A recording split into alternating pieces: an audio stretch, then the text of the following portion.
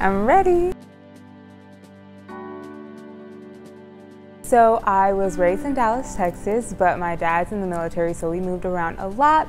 So I've moved around a lot of places, but Dallas, DFW is basically where I grew up. Um, I love Netflix. I love eating, trying new places. Um, I love binge watching shows on Netflix. That's like my thing. I love to relax after work.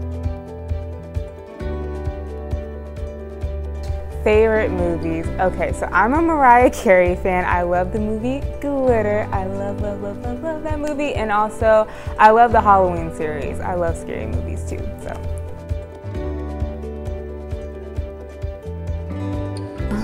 Um, Belize. Belize is my favorite, favorite, favorite. It was a girls' trip and it was so fun. We went snorkeling and fishing in the ocean. It was amazing, breathtaking.